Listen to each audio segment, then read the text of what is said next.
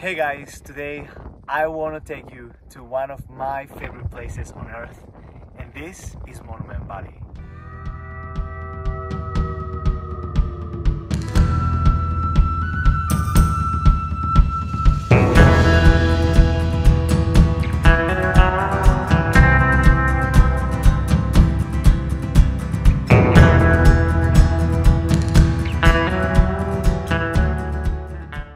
Gonna explore the beautiful trails and nature that this place has. We're gonna go to some of the iconic locations where many Western movies and contemporary movies have been shot. So there's many movies that are set here in Monument Valley. Uh, some of them you may know, Forrest Gump. Uh, it has this moment where he's running uh, across the U.S. and he is about to make it. You know, he's in in Monument Valley in the middle of the road and he decides to turn back. And everybody's following him and everybody gets like, you know, surprised by it. So we actually shot some some scenes right there. You can see us, you know, like going right there, walking that last path. I'd say there's more striking view. It's the view of the Three Sisters and that's John Ford's uh, view that was more striking than Forrest Gump's. This is what Hollywood uh, expects or made it to be the backdrop of all the Western movies, and that all started with John Wayne. Now, John Wayne filmed many movies here, but he made this place famous for that for that matter, and the point that it's named after him uh, it's the John Wayne's Point.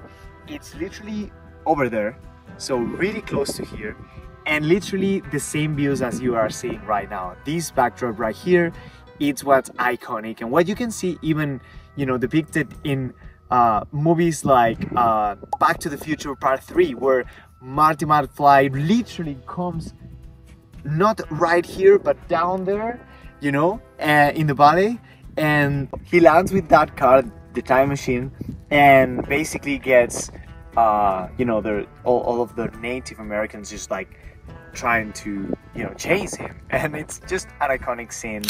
There's many more movies uh, that are uh, set here. Many uh, contemporary movies uh, from Transformers Age of, of Extinction. There's a scene there. There's also a scene in Fantastic Beasts.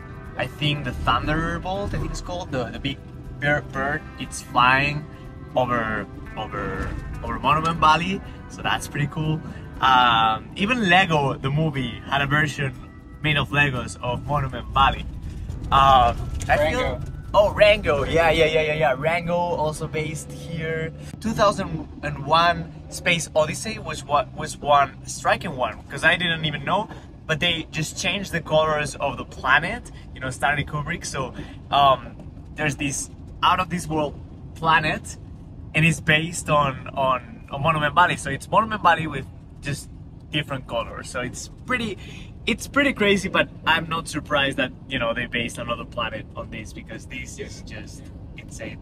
There's so many beautiful spots in Monument Valley and one way to track them all is to do some research and for that you'll need internet and the the way that I that I get internet here in the US is thanks to Holafly. That's my sponsor and it's an eSIM.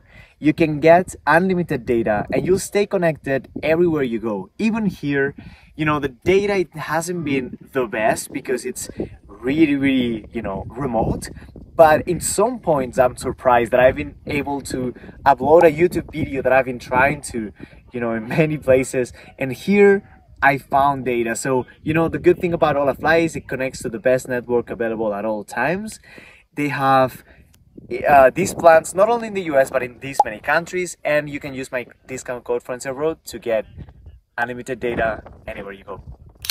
Actually, the John Wayne Point and the one that we are staying at it's the most magical view that you can get. So if you stay here, you'll be able to finish on the sunset and enjoy this beautiful backdrop that it's, you know, priceless to see. We we stayed on our van, which we've been traveling with for the past uh, two weeks all around the southwest of the US and we parked literally with these views in front. And guys, look at the views. Insane! Monument Valley. Woke up with those views and it was just magical. It's 5.50, we were supposed to wake up at like 6, but I was like, wait, wait, wait, Martin, Martin. and I was like, look outside, like look what's out there and look at this view.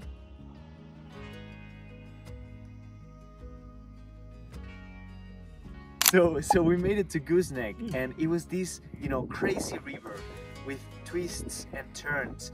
And you know we could see how erosion had made this canyon.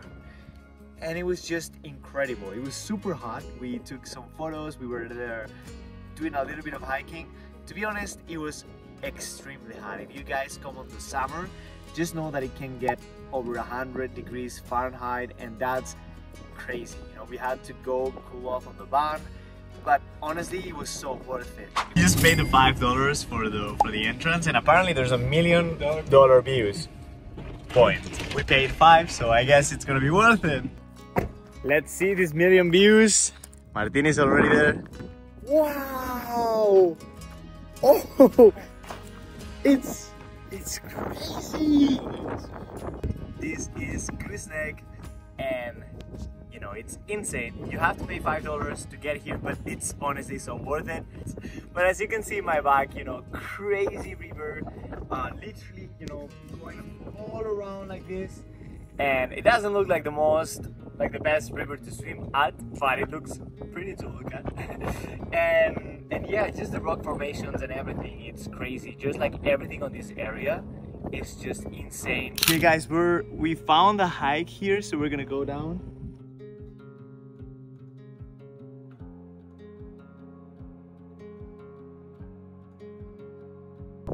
Nice.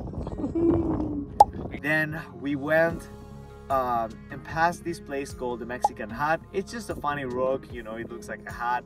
Honestly, it's not the best, you know, it's the most striking thing and a lot of people have put it on their list to things to do, but yeah, it's fine, but we moved on. so this area, it's Navajo Nation, which means the Navajo Native Americans are the ones who control the land and who live in this area. So there we've seen actually some of the traditional ways where, uh, of how they live. We are in a souvenir store and there's all kinds of native native american souvenirs and you know this is the land of the navajo uh, so uh, so these are all the souvenirs that you can get from the native americans?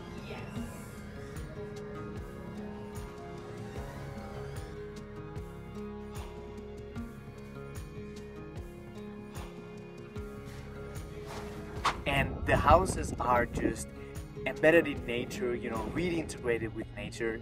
Over there you can see whole villages uh, where the Navajo uh, people live at. So guys, thank you so much for watching. Make sure to subscribe, give a like, and I'll see you guys in the next adventure.